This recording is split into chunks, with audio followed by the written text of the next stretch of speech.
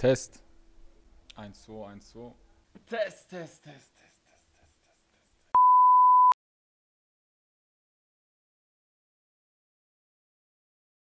Der MSV ist äh, mein Jugendverein. Äh, ich bin Duisburger Junge, ich komme aus Duisburg und äh, ja, jetzt hat sich die Möglichkeit ergeben.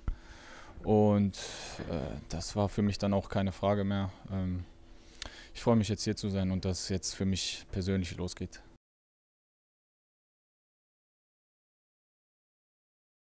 Sehr, sehr positiv. Ähm, man merkt, glaube ich, dass die Jungs schon ja, länger zusammenspielen. Ähm, das haben sie jetzt auch äh, in der letzten Saison bewiesen, dass sie so souverän aufgestiegen sind. Ich sag mal, das äh, hört sich immer einfach an, aber ähm, wenn man von Beginn der Saison bis zum Schluss dann auch äh, Meister wird, ist schon, schon eine starke Sache und ja, auf jeden Fall eine intakte Truppe, was auch sehr wichtig sein wird für, für das nächste Jahr.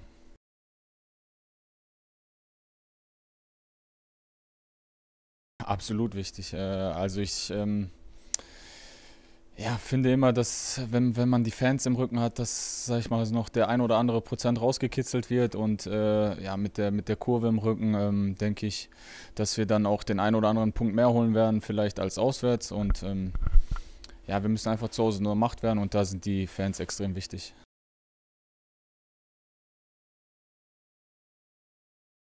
Persönlich, äh, man nennt mich Stoppel, also das ist mein Spitzname. Ähm, ich bin Duisburger Junge, komme aus Duisburg-Buchholz, äh, bin dort aufgewachsen, meine Eltern leben immer noch dort, habe meinen äh, Lebensmittelpunkt quasi nie gewechselt, war immer äh, ja, verbunden mit Duisburg, auch mit dem MSV, äh, habe ja in der Jugend das Kicken dort gelernt, äh, war zu Bundesliga-Zeiten und Zweitliga-Zeiten ganz früher noch im alten Wedau-Stadion, stand ich in der Kurve, war Balljunge und ähm, ja, alte Liebe rostet nicht, sag ich mal.